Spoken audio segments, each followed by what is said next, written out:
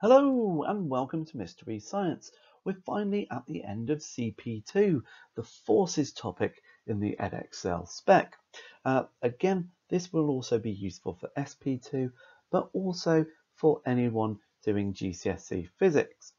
Now, uh, we've been on a little bit of a journey uh, for forces, and hopefully our journey won't end uh, as we're talking about crash hazards. So we're going to talk about large decelerations. What does that mean? And what does that mean for our bodies? How can we calculate the types of forces involved in a crash and a collision? And what kind of thing that does to the car, the body, and how car manufacturers try to keep us, fragile beings of flesh and bone, to stay alive. Uh, and then we're going to calculate the forces involved in bringing us down to a nice steady stop gradually without getting squished. So the first thing I'd like you to do is try to remember from our last lesson uh, the factors that affect the stopping distance of a car. If you don't know the answer to this, uh, go back to my previous video uh, or uh, watch the whole CP2 forces uh, thing uh, using the playlist up above. Right, welcome back. Uh, the factors that affect the stopping distance of a car, well, you've got two main factors. I don't know why I'm doing that. Two main factors. You've got thinking distance and braking distance. Now, the thinking distance is the time you are, or the distance you are traveling while you are reacting. So the time between you going, a deer, and your foot finally stomping on the brake, uh, that takes a certain amount of time. That thinking time, your vehicle is traveling at the same speed as before the incident. So that can be quite lengthy. If the other factor is the braking distance, these are affected by your car, the surface of the road, and other factors. So our thinking distance is affected by things like um, drug taking and alcohol and caffeine. These things affect our reaction times and our braking distance is affected by whether or not the road is slippery, whether it's icy or wet, or the uh, brakes, uh, or how bold the tyres are. Apologies for that interruption. I was brought a piece of fresh carrot cake. Mm, yummy. Okay, now in recent times we have sent probes to Mars. We've sent massive robots that roam around the Martian surface, surveying the land, taking samples and doing all kinds of science experiments and taking photos and things. That's very difficult to land something uh, on another planet. Now, you may have seen uh, SpaceX uh, landing rockets vertically and being able to reuse rockets. Now, this is fantastic, but we just haven't had that technology available before we sent up our Mars rovers.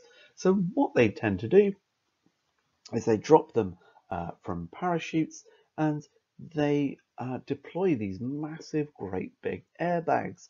And the whole Mars rover is encased in this uh, protective shell with these big, giant bubble airbags on them. And they land on the floor, they crash, and they bounce about a bit. The airbags deflate, and then they open up and let the Mars rover out. At least that's the hope. We have lost one or two in these attempts, but mainly uh, it's working well. What I'd like you to do, please, is write a couple of sentences trying to explain how you think that works, uh, what the effect of the airbag is. Now, uh, if you have no idea, what I suggest you do is pause this video and go and have another quick video, uh, look at a video uh, on YouTube just to have a quick look at how airbags work. Right, so let's move on to collisions.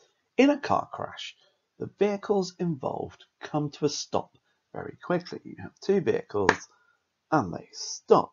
Well, actually, not quite. They'll come at each other and then they'll kind of crash and the energy is dissipated somehow. Now this is weird for me because normally when I teach this, the first thing I do is I show a video of an incredibly popular TV show uh, where they do a crash test of a Volvo and a new Renault. And they fire off these two cars uh, at roughly 40 miles an hour at each other. And uh, the Volvo is uh, an old spec Volvo. It's literally a battering ram. And they fire it at this new Nissan. And the two collide, uh, driver's side to driver's side. And the whole thing is filmed in slow motion. I'm going to link that video above uh, if I find it, and I'll put it down in the description as well. It's an amazing video and it's well worth a watch. Watch that and come back here. But in a collision, excuse me, in a collision, you have a deceleration. You have a vehicle traveling at a speed, and then all of a sudden it comes to rest. That's a deceleration, which is a negative acceleration. It's got to go from a speed to stopped, some, uh, some speed to zero speed. And so if it does that very quickly, that is an incredibly fast deceleration. Now, cast your mind back uh, a ways to Newton's second law. Mass is e uh, sorry, force is equal to mass times acceleration. If you have a very rapid deceleration and you have a mass, you can work out the force required to decelerate that object. So you could work out the forces that are being applied to uh, the people inside the vehicle. Now, people, uh, fragile human beings, um, don't particularly like to be de decelerated very rapidly. Um, we tend to break uh, because what happens if the force in the, uh, involved in the collision, bringing that car to the stop, if that force is transferred to the human body, we're done for. We crack into tiny pieces. Now, this isn't very good.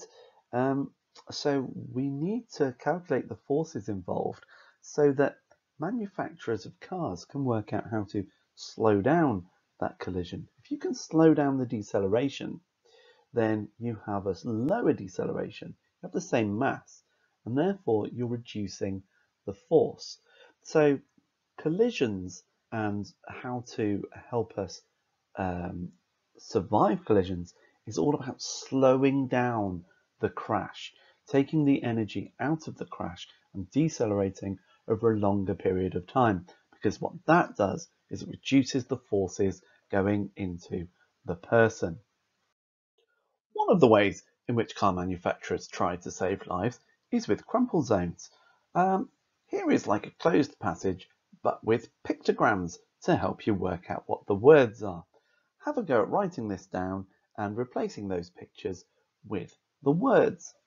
Right, welcome back. Well, crumple zones are areas of a vehicle that are designed to be crushed, but in a controlled way in a collision they increase the time taken to change the momentum in a crash, which reduces the force involved. Remember, we've looked at all of these things. Newton's second law, momentum. We know that if we change the time of a crash, we reduce uh, the acceleration or deceleration, but that also reduces the momentum. And so to do that, reducing the force involved in the momentum will reduce the force going into the person. And that's what crumple zones do. They essentially absorb the energy. Now, hopefully you've gone away and you've watched the video of the Renault versus the Volvo. If you haven't, here's a very, very, very brief synopsis. And I do definitely recommend you watch it. The Volvo, which is essentially a massive steel box, uh, and the Renault, which very, is a very new car. Um, I say new, it was filmed uh, quite late in the 2000s, but here we go. Uh, the Volvo uh, comes along and they both crash together and you'd expect the Volvo to come out unscathed because it's a huge rigid box, but it doesn't. The entire front just kind of uh, collapses in on itself and all of the force basically gets shunted into this L shape and so uh, the car just disintegrates on one side. This is the driver side. Uh, and so all of that force goes into the driver. Uh, and that's going to cause significant damage to the driver. Now the Renault comes along and as it crashes, it has crumple zones. So the energy actually is spread across the car.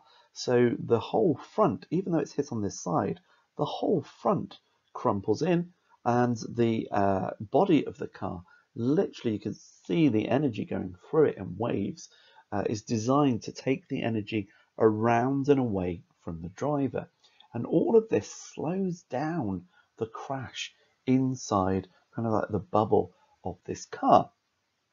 And when you open the door of the Renault, you can see that actually uh, what's happened is the crumple zones have done their job. and The person inside is going to have minor, if any, injuries. So bearing that in mind, which of these two statements is true?